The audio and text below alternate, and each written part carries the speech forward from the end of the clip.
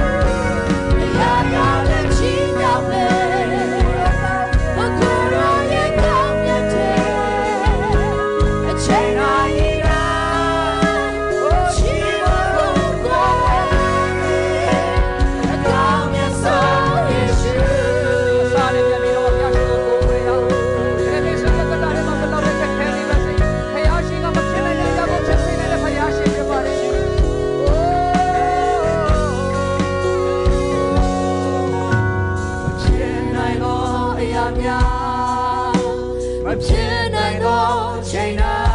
င်းပင်မဖြစ်စေသောခရာကျွန်တော်ကိုယ်ကွယ်လုံးနိုင်သောအရာများ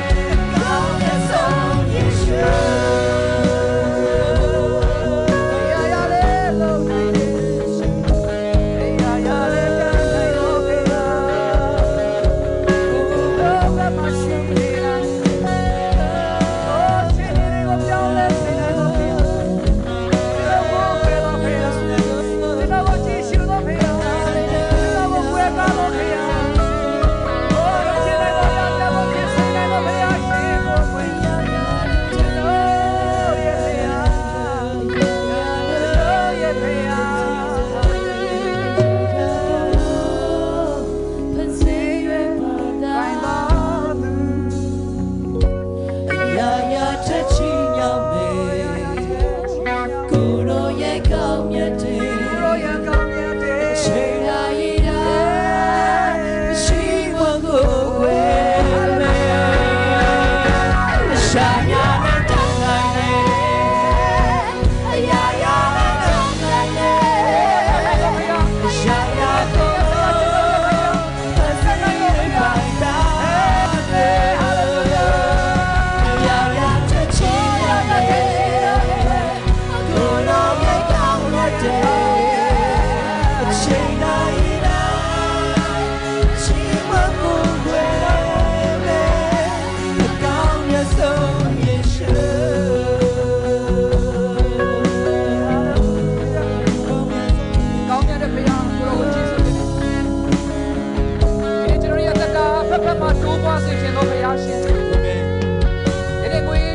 လည်းပဲ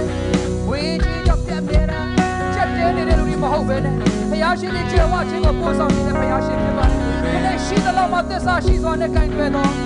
ဖယားသခင်ကိုဦးထိပ်ထားပြီးကြည်ရှိတော်သူတွေဖြစ်တဲ့ဘုလုံးကဒီနေ့ကျွန်တော်နှလုံးသားတွေကိုကိုလိုရှင်သွန်သင်ပေးတော်မူပါ။တိုးပွားစေခြင်းတော်ဖယား